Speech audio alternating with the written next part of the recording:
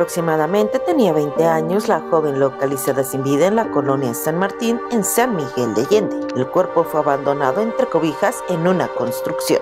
Fue a temprana hora del 8 de abril en que el cuerpo de policía de la ciudad fue alertado con el descubrimiento de una persona sin vida. Se dijo que el hallazgo ocurrió sobre la calle Lázaro Cárdenas en el límite de las colonias San Martín y Laureles. Es de mencionar que la mujer fue abandonada en una obra en construcción envuelta en cobijas. Información preliminar señaló que portaba vestido negro y tenis del mismo color. Una vez intervenida la zona por peritos del Servicio Médico Forense, el cuerpo fue levantado y trasladado hacia Guanajuato capital en calidad de desconocido para continuar con la investigación correspondiente y practicarle la necropsia de ley. Para el sistema de noticias de TV Independencia. Con imágenes de Juan Pablo Fiscal informó Gladys Padrón.